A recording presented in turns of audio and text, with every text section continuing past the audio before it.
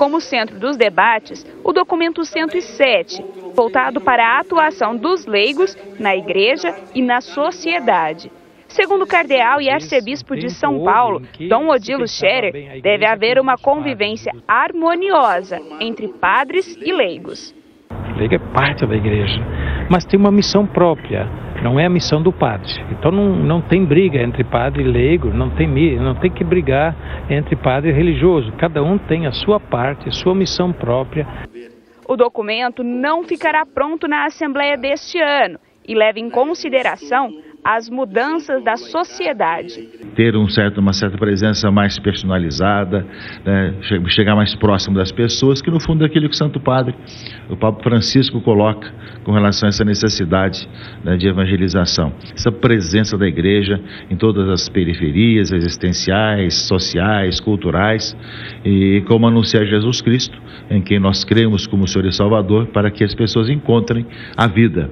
Os leigos também foram assunto durante a coletiva de imprensa. O presidente da Comissão Episcopal Pastoral para o Laicato reforçou que o leigo deve ter um papel transformador.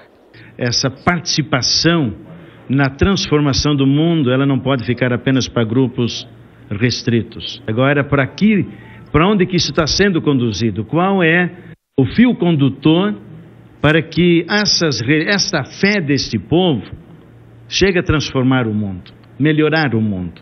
No período da tarde, os bispos se dividiram em regiões para discutirem as dificuldades locais, um momento de partilha das dificuldades das dioceses que compõem o maior episcopado do mundo, como, por exemplo, a prelazia do Xingu. Nosso caso lá é, é, não tem nem comparação, né?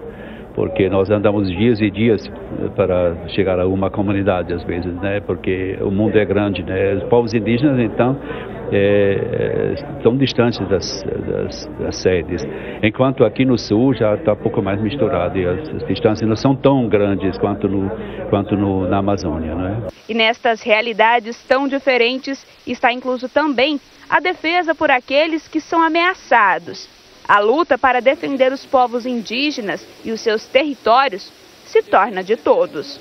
A população tem que saber, a sociedade brasileira tem que saber que eles têm direitos.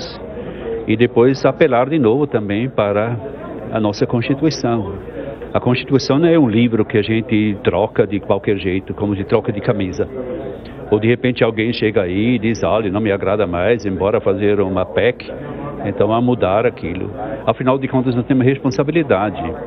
Até Uricúpuro disse que a sociedade brasileira será julgada pela maneira como trata os fracos e os frágeis.